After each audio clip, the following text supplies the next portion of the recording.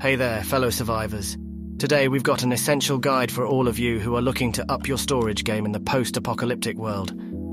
I'm your host, SurviveMaster, and in this video, we're going to walk you through the steps to craft a wooden crate. Alright, so first things first, let's talk about the materials you're going to need.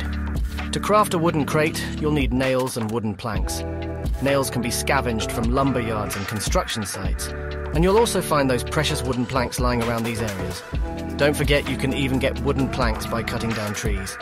So keep your eyes peeled for those spots. Now once you've got your nails and wooden planks ready, it's time to put them to good use. Hold those wooden planks in your hands, and then open up your inventory. Locate the nails in your inventory, and make sure to unbox them by placing the box in your hands.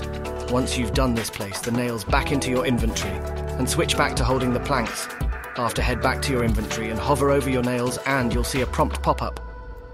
And here comes the magic. Hold down that circle button and voila! You'll witness those materials combining right before your eyes. And there you have it. Your very own crafted wooden crate, perfect for stashing away your precious loot. It's a real game changer, especially when you're on the move and need a secure place to store your stuff. So there you go.